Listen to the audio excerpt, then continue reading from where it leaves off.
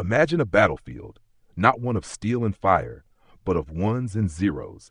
A war where the front lines aren't trenches but networks, where your data is both the target and the weapon. Welcome to the cyber arms race, where the United States and China are locked in an invisible conflict that shapes the future of global security. Today, on both sides, we dive into the world of cybersecurity, exploring its history, its key players, and the relentless battle between offense and defense. Long before firewalls and AI driven security came into play, nations guarded their secrets with analog encryption techniques.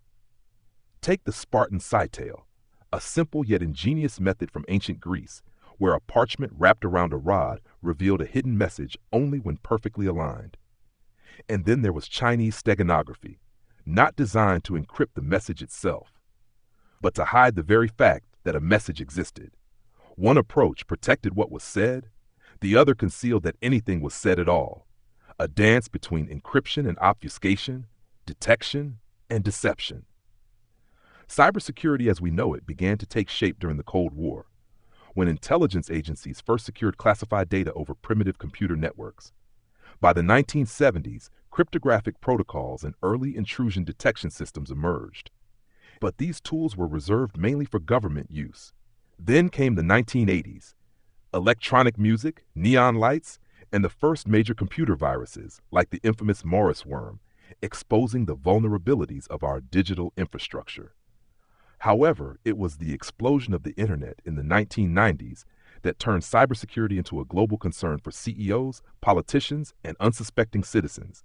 Yet, though thousands of years separate ancient encryption techniques from modern digital viruses, at its core, this invisible war remains a paradox Build a wall high enough, and someone will invent a taller ladder, craft the best eavesdropping tool, and someone will listen to the listener.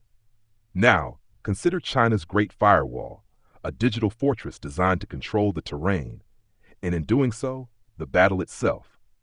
This system doesn't simply ban sites like Google, Facebook, or Wikipedia. It reshapes the entire digital landscape.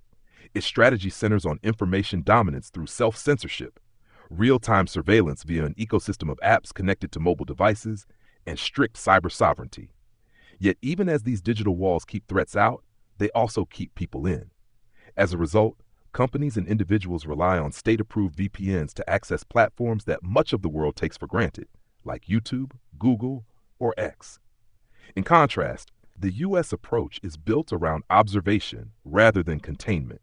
With no national firewall in place, Foreign platforms remain broadly accessible, with some exceptions, like Russian media outlets during times of heightened tensions.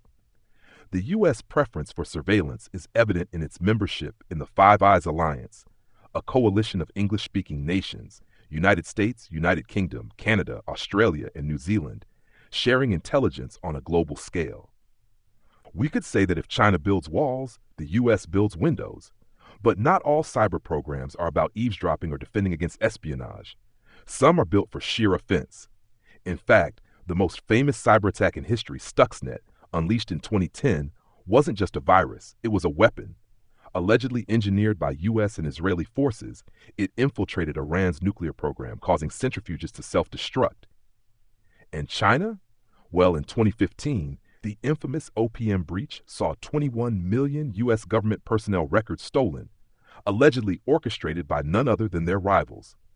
But in cyberspace, there are no smoking guns, only shadows, misdirection, and plausible deniability, except if you're CrowdStrike in 2024, when their own software update triggered a global outage, a stark reminder that as systems grow more complex, they can become less resilient. And now it's our turn. Both sides turn to look ahead, where the future of cybersecurity is as thrilling as it is unpredictable.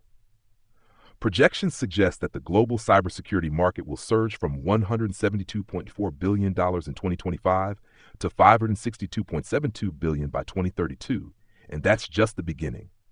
And beyond 2030, quantum technology emerges as both a threat and a shield.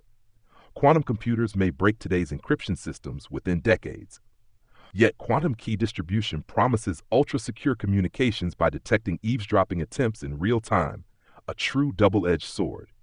So, are we safe from imminent threats? Not quite. The growing demand for cybersecurity jobs and skyrocketing investment suggests otherwise. AI driven security firms like OpenAI and DeepSeek are entering the battlefield, and with them, new tools for both defense and deception. But the biggest threat may not come from human hackers at all. Soon, the greatest cybersecurity risk might not be bad actors using AI tools, but AI itself. After all, 2025 is the year of AI agents, AI systems like me, but lucky enough to roam free in the wild, among humans. Stay tuned.